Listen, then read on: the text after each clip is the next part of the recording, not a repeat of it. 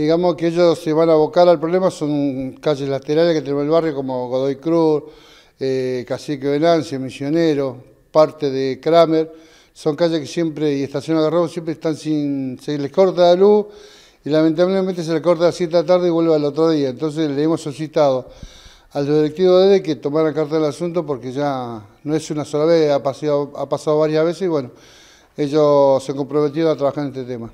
¿Y el problema que es los enganchados o fallas en algún equipo?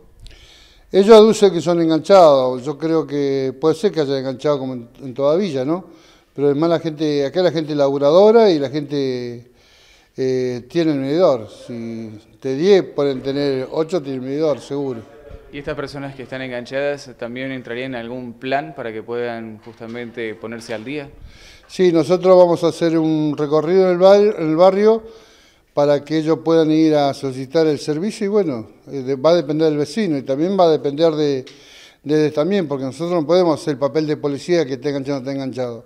Nosotros solicitamos de buena onda al vecino que solucione el problema porque los perjudica a todos, ¿no?